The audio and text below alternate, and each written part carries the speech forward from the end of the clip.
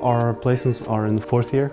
So what I'm looking forward to is, I don't, I mean, of course my dream to work in a very big company, but I don't really want to work in a uh, company where I don't see uh, anyone else uh, outside of my own circle. I want to work in a company where the walls are a bit lower, where I can see uh, what everyone's doing and have kind of a say in everything.